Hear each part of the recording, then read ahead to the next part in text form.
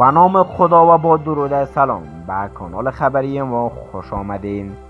فرمانده ضد طالبان با یک محافظش در سمنگان کشته شد درگیری بین جبهه آزادی و طالبان در ولسوالی خوست بغلان. سه طالب کشته شدند.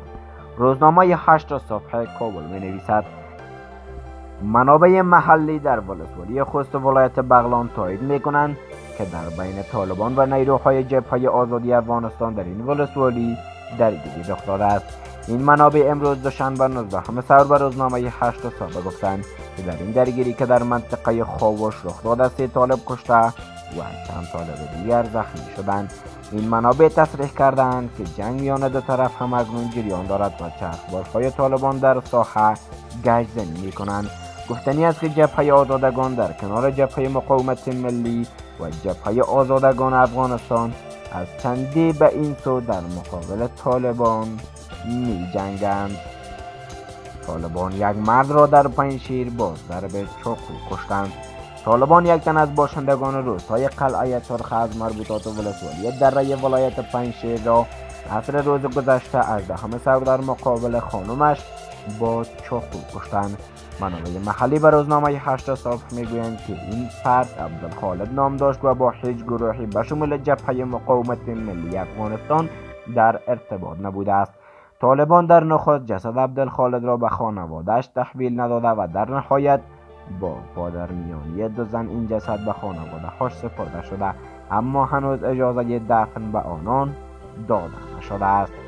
پس از عید فطر درگیری ها در چندین جبهه با طالبان داغ شده است. جبهه مقاومت ملی گفته است که تخار بغلان و بدخشان از ولایت های که طالبان در آنها متقبل تلفات سنگینی شدند ادعایی که از سوی طالبان رد شده و این گروه آن تلفات را فیسبوکی عنوان کرده اند. همچنان این در حالی است که آماج نیوز در روی صفحه رسمی فیسبوک خود چنین می نویسد فرمانده ضد طالبان با یک محافظه در سمنگان کشته شد. منابع محلی با آماج می‌گویند که عجبخان یک فرمانده ضد طالبان در سمنگان در ساحه تندورک با یک محافظش در کمینه برنامه ریزی شده از سوی طالبان کشته شده است. طالبان جسدش را تا هنوز به خانواده اش نسپرده و با خود بردند گرفته شده از صفحه رسمی آماج نیوز. با تشکر که تا آخرین ویدیو با ما بودید. برای مشاهده ویدیوهای بیشتر کانال یوتیوب ما را سابسکرایب نمایید.